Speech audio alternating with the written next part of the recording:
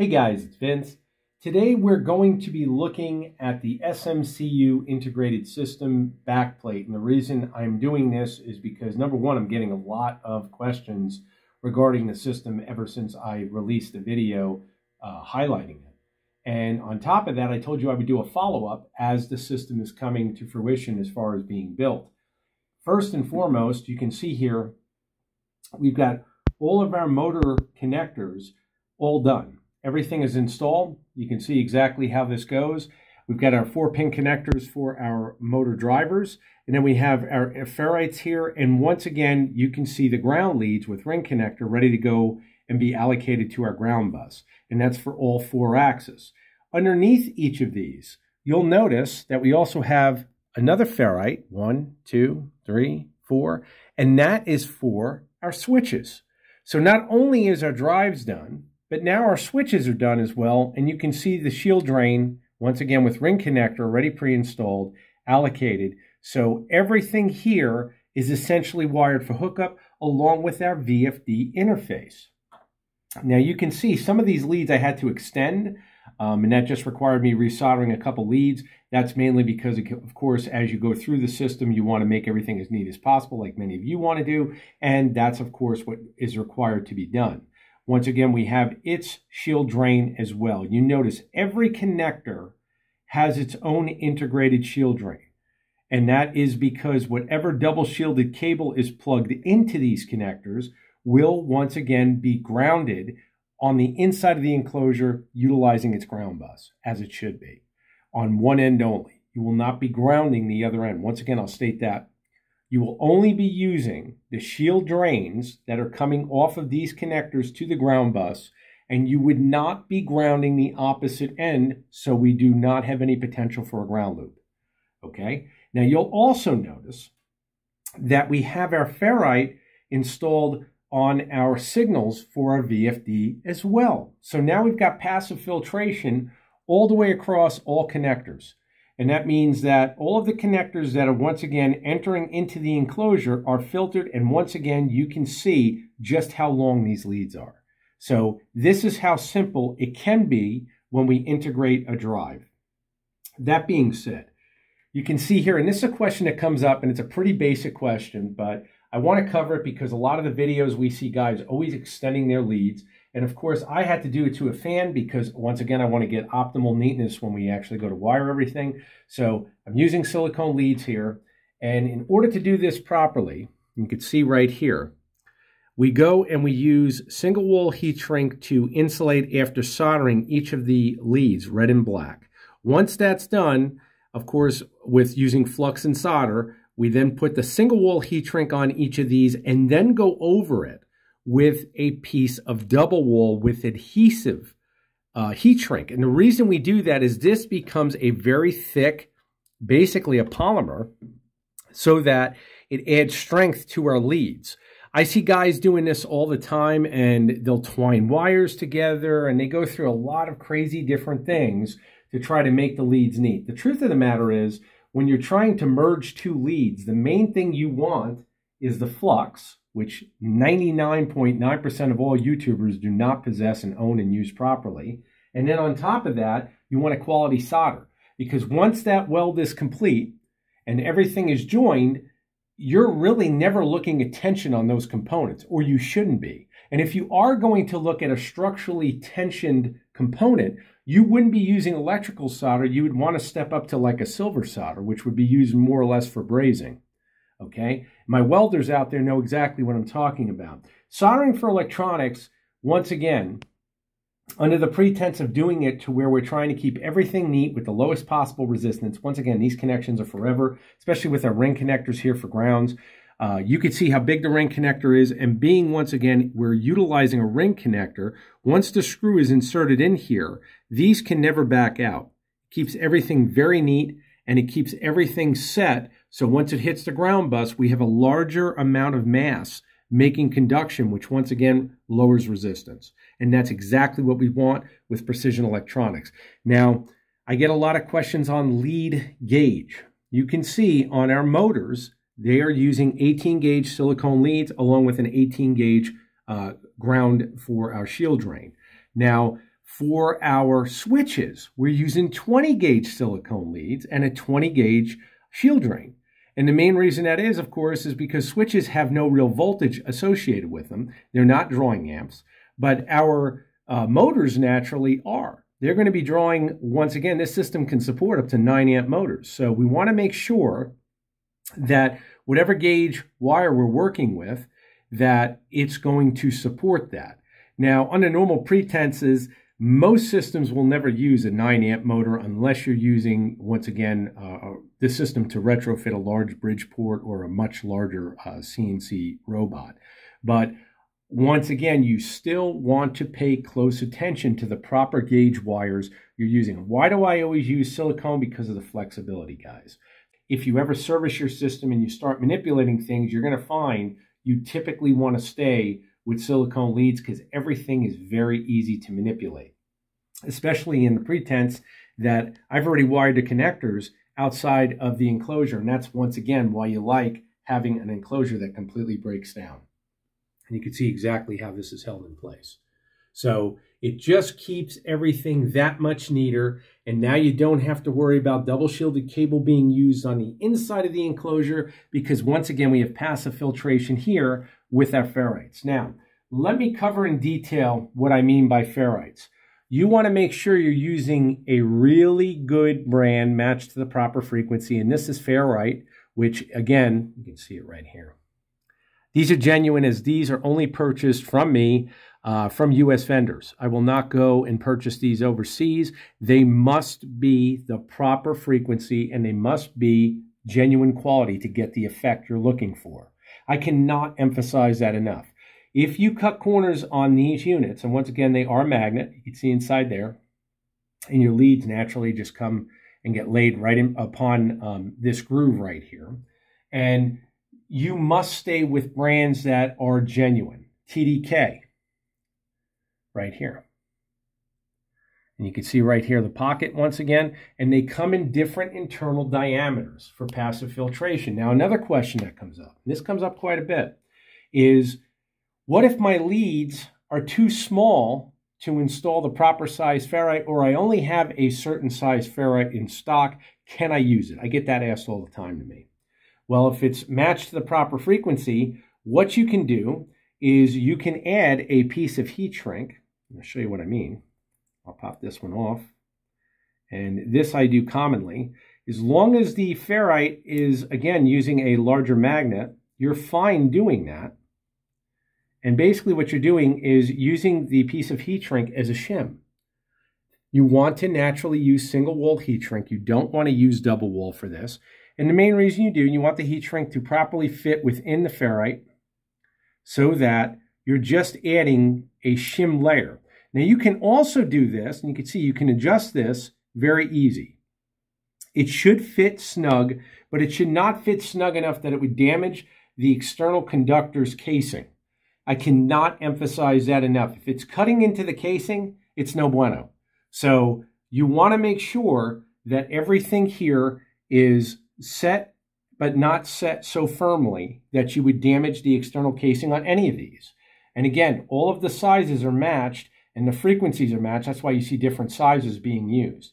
Now, on our uh, VFD, it's the same principle. Now, these are 18 gauge leads, and you can see how nice it's easy to adjust, and I did not have to use any heat shrink here because of the diameter of the 18 gauge leads that these are filtering. Now, I'm going to cover in detail again.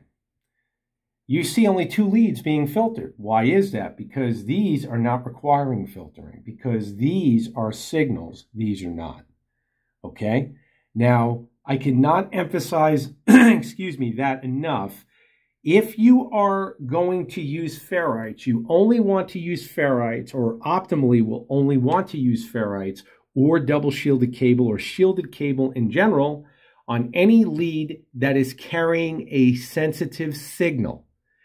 You do not need to shield everything in the system. For instance, the fan. This does not need shielding. It's just running the fan. Okay, so realistically, if it's a general power lead, this is not requiring shielding. And that's going from your power supply to your drives, for instance, those typically you do not need shielding. And with good purpose, because if you're shielding all the cables that are carrying the sensitive step and direction signals on either system, servo steppers, whatever it may be, then it's already filtering that or it's protecting those leads from any exterior noise sources. So there's no point in having to do that. So now hopefully you guys understand exactly where we are. And you can see here our UC400 is set up and the UC400, just to clarify, takes 12 to 24 volts. This unit's very interesting because it has a built-in step down. So if you put in more than 12 volts, it's going to naturally step it down to the voltage that the system will take, which is typically 12. And then what we'll see here is the power leads going to our UC400. Okay, now you see how long this is. And the reason, of course, I made this long is certain leads, like the fan leads, you cannot predetermine length until I'm finalizing the system. So as I go through the system, and I go through in more or less a day-by-day -day basis of doing all this work, each configuration, meaning each motor, each switch, if I'm doing motors today and I'm doing switches, that'll be all I'll do for the day. And I highly recommend you trying that. Don't work in the pretense that you're working in eight, ten hours. I've had guys do that, and I cannot emphasize how bad an idea that is. That's a general government idea of working six to eight hours. Detail work, I don't want a surgeon working on me when he's tired. Nor should you want to naturally be doing anything critical with sensitive electronics when you're tired. I've had guys come home from work and then they decide they want to rewire our system. Guys, use your head. That doesn't make sense. So I'm telling you right now, give yourself, if you've never done anything like this, and even a simplified system like this, which any of you who have already built the system realize just how simple this is. I only typically work an hour or two at a time, but the hour or two I put in is quality work. It's Amish quality work. Think about it like that. When people look at the Amish, and many of you are familiar with them, they have an impeccable work quality, but it's the way they work. And that's something that I hate to say it in the US, a lot of us don't represent. We don't see that anymore. And that's why it's because they know how to break things down. They're not rushing. Everything is quality. So they don't have to put out as many quantity because everything they put out is much higher in quality. So once again, if you're going to work on your motors, just do your motors one night. Be done. That's it. Move to the next. Do your switches.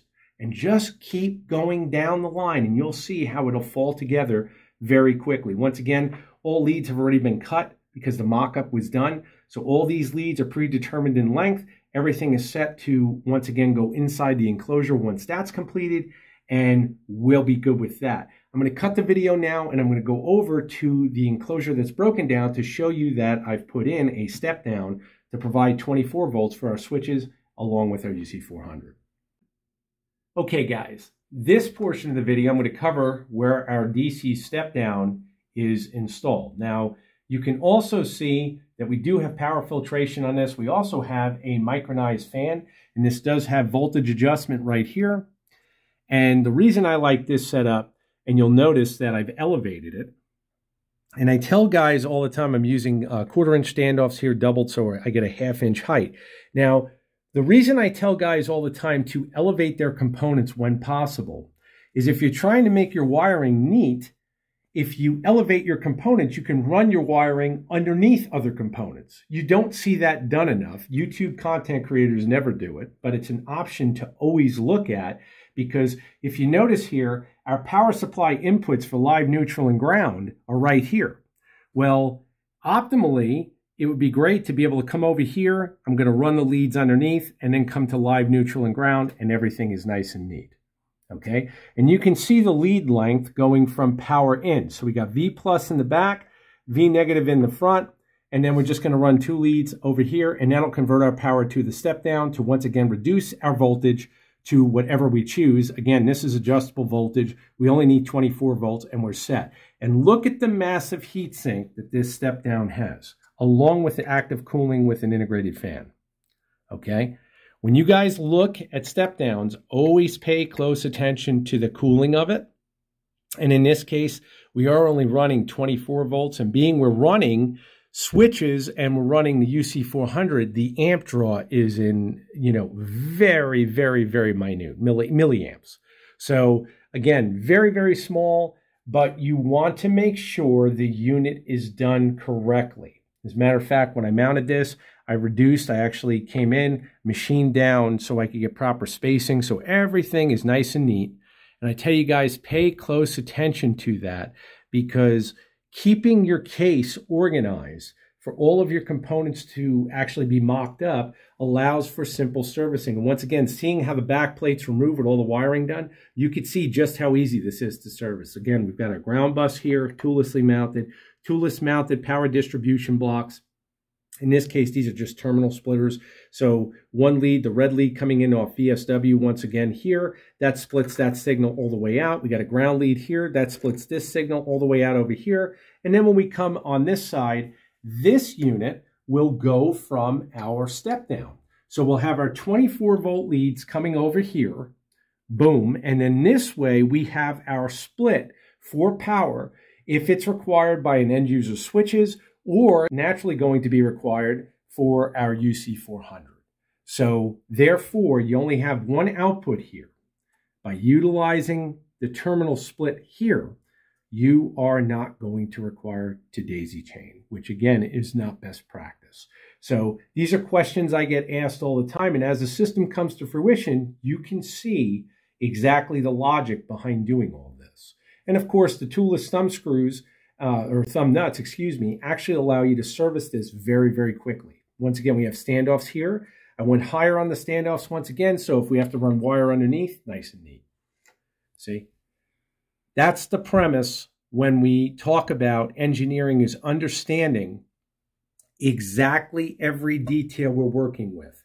Because even our ground bus, if you notice, you see where the plugs are for our drives. I mounted this low enough so we have proper clearance over here. Because if you don't do that and you make the ground bus high or you do anything that, once again, uh, puts components in the way of other components, it's going to bite you. You can also see I put some um, wire tie hold downs here and here. And the main reason I did that is so that when we run our VFD um, wiring in, it's going to come, naturally comes to the top of the connector here. We'll have two leads coming in here. And then we're going to have two leads come over with the ferrite that I've already installed and showed you previously in the video.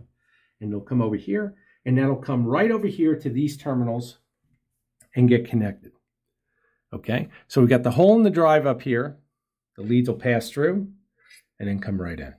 So you can see exactly how everything is starting to come together. Everything has been thought about. If you look at this fan's placement for our step down, you can see that we're going to have an intake fan right here. It's going to feed our 48 volt power supply powering our drives. It's also going to feed and help bring in cool air for our step down. So and then, of course, it disperses that air over the drives where, again, we have our uh, evacuation fan mounted in the back panel that will take any hot air and basically recirculate. It's going to remove it. We have cool air coming in, hot air going out. Everybody's happy. So you can see now how everything is done. One other point I want to make. This drive is its own giant heatsink in that all of the MST 109 drives, all four of them, one, two, three, four. All four of these are mounted on its base. And you can see this heat sink right here for each drive. Well, naturally, the more we keep expanding all of the metal making contact with the drives, the better the cooling gets. That being said, I put thermal paste underneath the drive and made sure that now it's also connected to the base plate of the chassis, which expands the cooling even more because we have greater mass and therefore makes it much better to cool this system in general. And that's exactly what we've got here. So seeing it come together, I think it helps you guys really visualize just how simple this is. And once again, you can see all of our fuses, which I love. Each drive has its own built-in fast-acting fuse along with the power supply module. So everything is simple to be changed should that be required.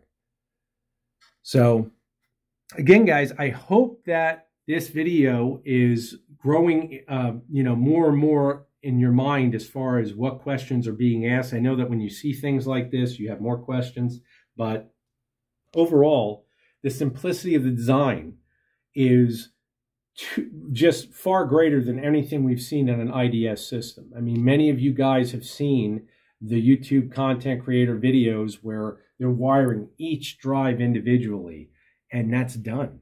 You're not doing that anymore. You've got the four leads coming into each of your motors. There's your drives. That's the beauty of using a motherboard because when that motherboard has all of the circuitry into it and the, the drives just plug into the motherboard, that's it. I mean, essentially what they've done, and I guess the easiest way to explain it is take a breakout board and make it pluggable for your drives. So therefore, there's no wiring, there's no worry about noise. And that's why the only amount of noise you could possibly have is from the connectors themselves. And you saw how easy that is because the back plate gets mounted here and you only got about a six inch lead run right to it.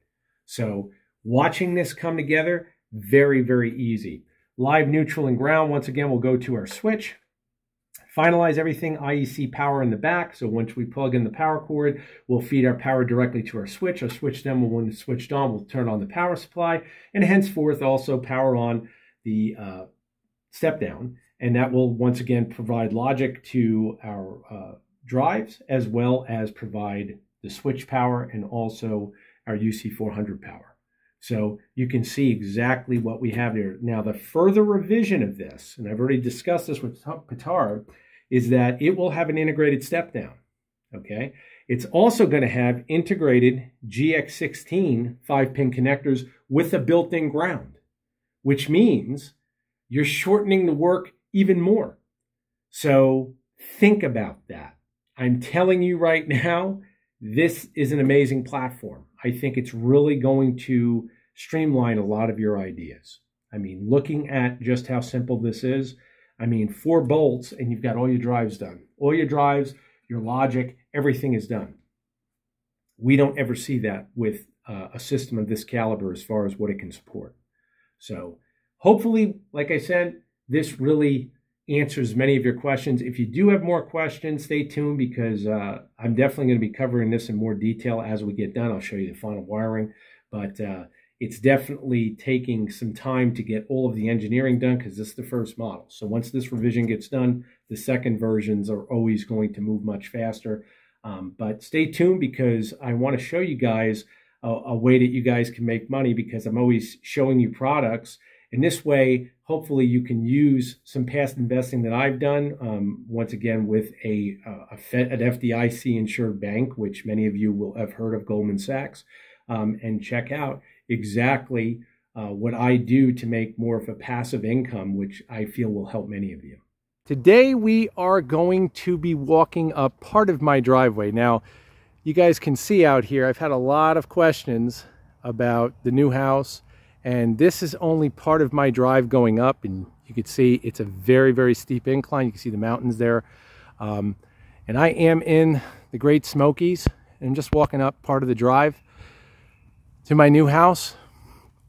And once again I cannot emphasize how much I appreciate all of you because without you this of course would not be possible. Isn't that right Joanna? That's right. So we are in a totally different area. Many of you know I used to reside in Florida. Personally, I feel Florida is overpopulated. And now we are in a much, much less dense area. Give you some perspective of the Smokies. That is my new shop. The lab, of course, is inside the house. Give you more perspective. Now, of course, I own all of this as well. We'll go over the land because it's very hard to get perspective and scale, so we'll do that.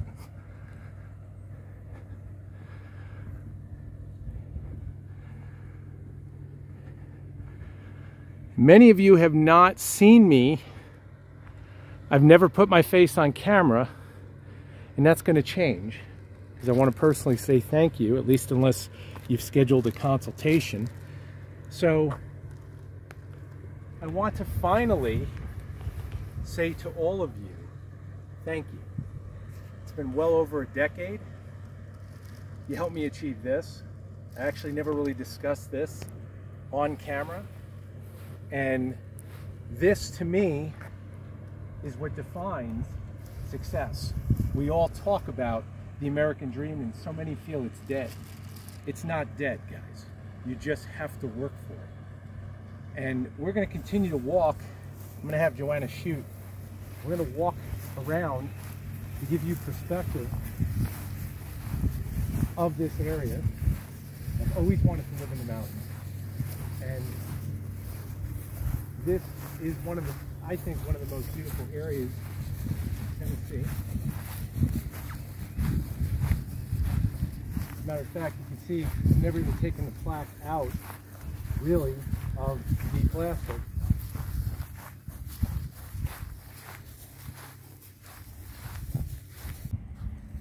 Okay guys, this makes up the majority of our 14 acres right here. And again, you can see perspective on how high this mountainside is.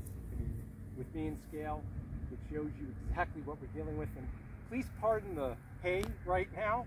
I'm growing this because I'm going to demonstrate a new robot that I've actually worked on a design for. So there's a reason that it's actually this high.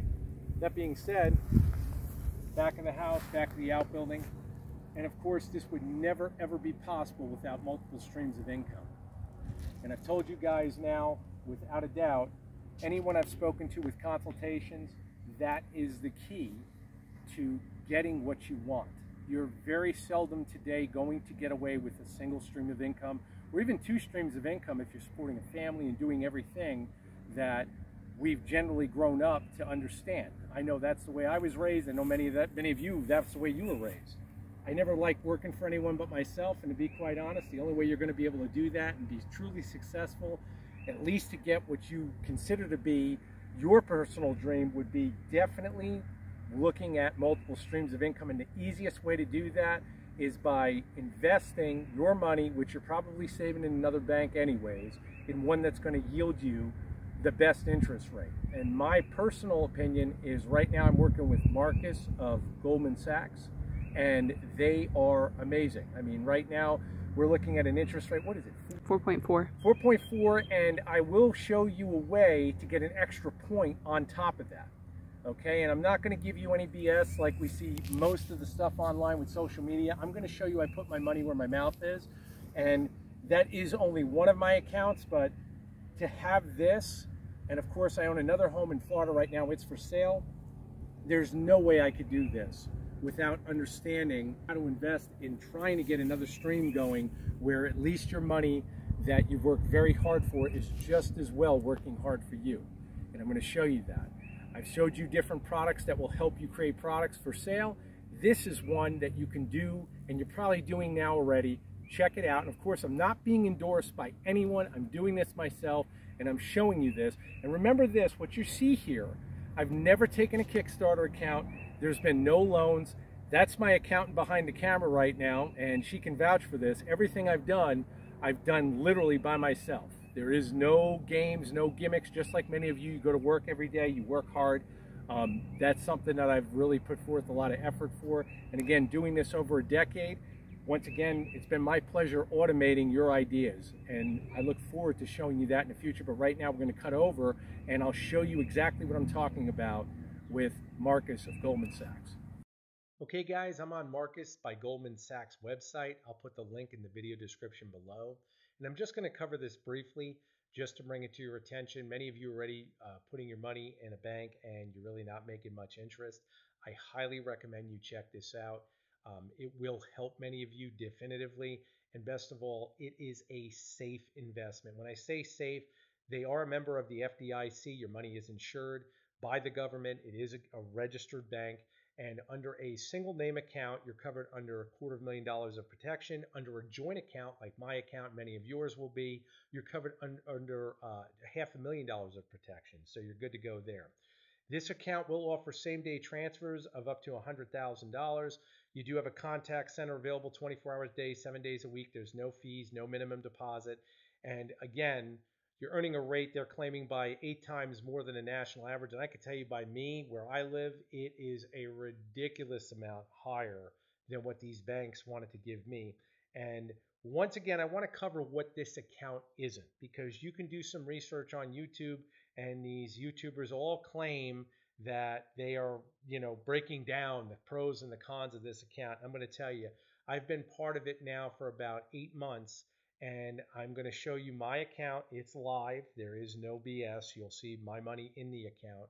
And once again, I'm not being endorsed by them at all. I'm not paid or uh, asked to promote them in any way. I'm just offering you a benefit in terms of being able to not only have the 4.4% to start with, but if you sign on with me, we both will make an extra percent and it costs you nothing. So that means instead of starting at 4.4, you would start at 5.4.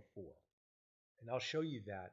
But first, the account will not issue you a debit card. It is not designed to be used as a debit account. What does that mean? That means that if you're already using a debit account with your bank, then you will want to keep that account just for debit transactions. This is a savings account. It is more in tune with a CD, except, let me say this carefully, except a CD, your money is locked for a certain predetermined amount of time. This account allows you to transfer whenever you want. The only difference is it's a savings account. So to me, that's not a con if they're disclosing it already, which they are. And a lot of YouTubers that do any type of reviews on these accounts, they like to say it's a con. Well, again, a con to me is where the company or the financial institution is not disclosing that. If they're disclosing it, it's not a con. It's something you should once again review prior to getting involved with them. Either way, to show you I'm a man of my word, I'm bringing you into my account and you can see I put my money where my mouth is.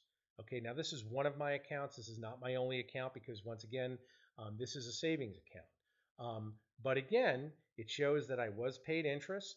You can see that right here. And knowing that you are getting that 4.4%, you can see up here where it says refer a friend. And if I click on that, you can see I'm issued a code. And I'm going to put this code in my video's description link to all of you. Once again, there's no minimum deposit. All you're wanting to do is save your money. But when you use this code, you will not be earning the 4.4%. You'll be earning 5.4%. And this is a referred rate for three months. Now, many of you are saying, well, it's only for three months. That's true. And you can see here how Marcus Referred works. Marcus Customer refers a friend. I'm not going to go through all this because you guys can review this yourself, but rest assured, I have gone through it. And friend opens an account, earns a Marcus referred rate. Number three, customer who referred earns a Marcus referred rate too.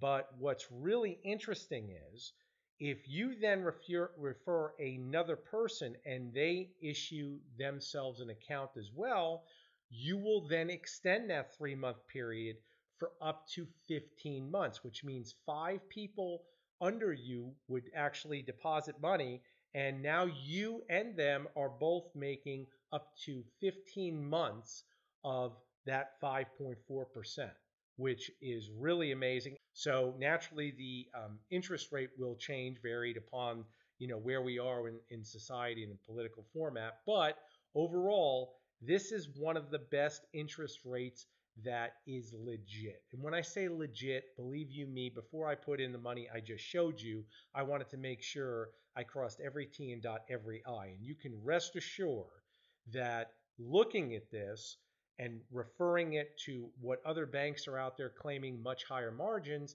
the thing you need to keep in mind is what are the prerequisites and what is the fine print. And I'm telling you now, go over the fine print carefully and you will find that they are totally legit. In, and especially in the sense that you can contact them. As a matter of fact, we had an issue uh, with a security transfer. We were contacted by them immediately. We handled everything. They were fantastic about it. They gave us a time frame of when the money would show up in the account, not show up in the account. And when you start dealing with larger sums of money, you guys will see that if you haven't dealt with that already, banks get weird. They want to cover their bases and make sure the government's happy and they're happy. And that was one thing we went through when, once again, making larger deposits, and they are textbook. So I'm telling you right now, there's no delay in your payments, there's no delay in you transferring anything. They are a legit bank. And if you're serious about making a passive income, and of course, You're not going to get really rich off of this unless you make a really large deposit, but your money will steadily grow. And that is what we are all essentially trying to do. And once again, every month we get paid. Uh, even if we don't deposit more money, you're still making your interest. And it's a hell of a lot higher than what you get at normal banks, at least in my general area. And I'm assuming it's yours too because it's based on a national average. So, again, guys, I will put this link in the description. Check it out. I want to thank you all for your support over the years. Take care.